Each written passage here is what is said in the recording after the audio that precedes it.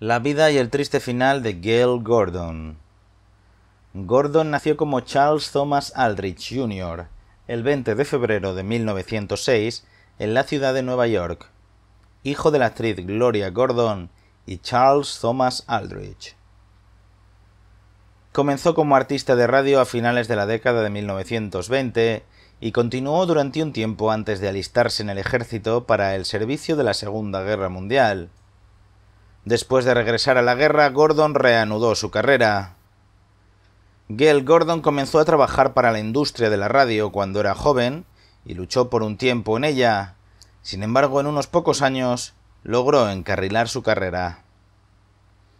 Prestó su voz al popular personaje de superhéroes de cómics, Flash Gordon, por primera vez en 1935. Gordon se convirtió en un icono debido a este papel y no le tomó mucho tiempo convertirse en el favorito de la multitud a mediados de la década de 1930. Interpretar el papel de Mayor La Trivia en la serie de radio Fever McGee and Molly entre 1935 y 1956 cambió su fortuna y Gordon se estableció como un artista de radio. También jugó otro papel en este programa, y durante su tiempo en él, Gordon se alistó en la Guardia Costera de los Estados Unidos como parte del ejército de este país para servir en la Segunda Guerra Mundial. Después de regresar a su tierra natal después de la guerra, Gordon reanudó su carrera como actor en la radio, algo que nunca pensó en dejar, incluso durante la guerra. En los años siguientes, Gail Gordon apareció en varios programas de radio, incluyendo interpretar a John Granby en Granby's Green Acres, Osgood Conklin en Our Miss Brooks, y luego desempeñó el mismo papel en la versión televisada del programa, y Rudolph Atterbury en Mi marido favorito. Después de hacerse un nombre en la radio, Gail Gordon recibió una oferta para aparecer en la serie de comedia I Love Lucy, creada por Lucille Ball. El programa se desarrolló entre 1951 y 1957 y contaba con Lucille Ball en el papel principal. Desi Arnett y Vivian Vance jugaron papeles importantes. Gordon apareció en solo dos episodios como Mr. Alvin Littlefield. Gail Gordon apareció en la comedia de la CBS de larga duración Our Miss Brooks como Osgood Conklin. El programa duró cuatro temporadas y un total de 130 episodios. Gordon y Eve Arden aparecieron en el programa como los personajes centrales y fueron elogiados tanto por la crítica como por el público. Gordon fue nominado a Mejor Actor de Reparto en una serie regular en los premios Primetime Emmy de 1955 por su papel en este programa. En 1962 y hasta 1963, Gordon apareció en el programa Dennis the Manage como John Wilson durante 44 episodios. También apareció en Pete and Gladys in the Danny Thomas Show en papeles especiales.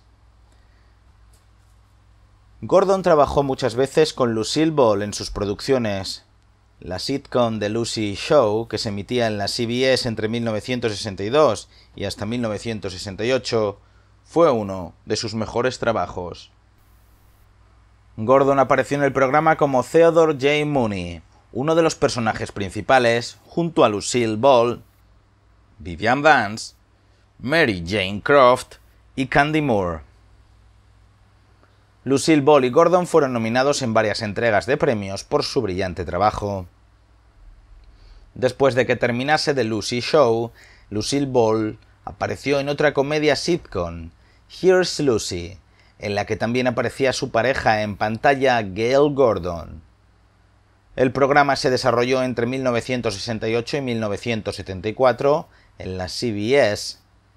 El dúo interpretó a los personajes centrales junto con Lucy Arnaz, quien era la única otra miembro regular del elenco del programa, aparte de ellos.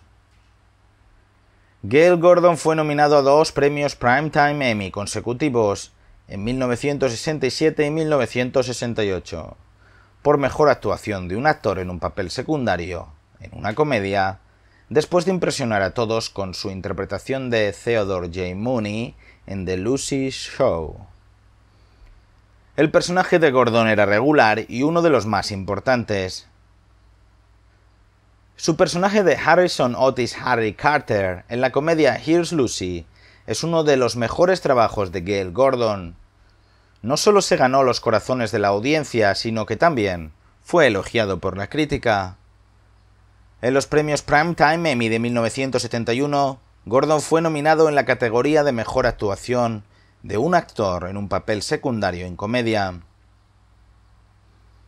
Gail Gordon se casó con Virginia Carley en 1937 y permaneció casado con ella hasta su muerte en 1995. Además de actuar, Gordon también solía escribir y pintar cuando tenía tiempo libre.